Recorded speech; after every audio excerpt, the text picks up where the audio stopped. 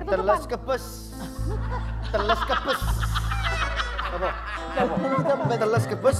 Telas kebes. Artinya apa itu? Teles kepes. kepes. Loh cendol dawet, cendol dawet, cendol dawet. Dul, Cute banget. aku tuh mau tanya Dul. Sebetulnya apa sih yang Dul kagumi dari Tiara?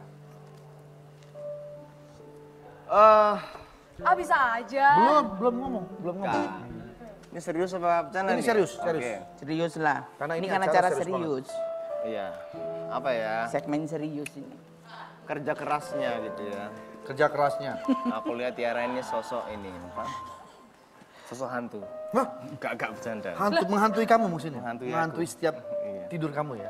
Aku lihat Tiara ini pekerja keras gitu ya, dari umur muda. Umur berapa sih? Lupa aku. Ayo, nggak boleh lupa dong. Setahun di bawah gue. Iya. Cocok. Takutnya masih muda, masih muda udah jadi Hebat ya. banyak kerja, mungkin bisa dibilang eh, Sosok pekerja keras. apa sosok pekerja keras yang udah bisa mungkin bisa dibilang apa ya eh, wanita yang menjadi tulang punggung keluarga Betul. itu yang aku kagumi Kagum ya. Kan. Kalau Kan- Tiara kan nggak gampang kan dari Iya. perjalanan Sebentar mas, Kenapa? nasibku gimana ini? Sabar. kamu ini kan ya? menerawang sekitar. Kalau ada yang mengganggu, kamu yang. Oh iya. Tiara sendiri menganggap Dul apa? Maksudnya apa yang kamu idolakan dari Dul? Sama aku tadi juga mengagumi Dul eh, karena dia em, umurnya kan nggak beda jauh sama aku. Iya. Tapi dia sudah bisa waktu di panggung waktu itu kan pernah sepanggung kita, kita pernah duet, terus dia pernah dikasih challenge untuk eh, ngasih lagu spontan dan sebagus itu lagunya jadi tuh bisa menjadi apa ya eh, patokan aku, aku bisa terinspirasi dari dia gitu.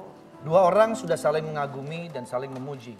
Ini adalah satu bentuk penghargaan kepada sama manusia. Kita lihat dulu ini ada foto Tiara Idol yang Tiara mengaku Idol ngaku mengagumi Dul Jailani. Dul Jailani.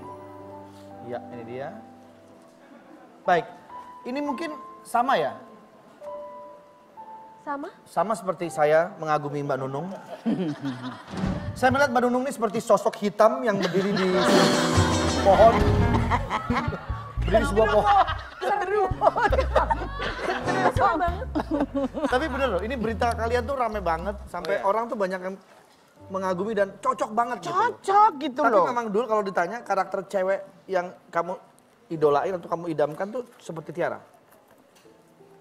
Salah satunya iya Betul ya? betul Tapi katanya siapa yang pernah main ke rumah Bunda Maya? Papa, bapaknya. Papa, papa. aku. Papa Tiara? Iya. Main ke rumah Bunda Maya. Iya. Terus Bunda Maya main ke mana? Main ke rumah aku. Main ke rumah kamu. Oke, kita lihat dulu videonya. Ini dia.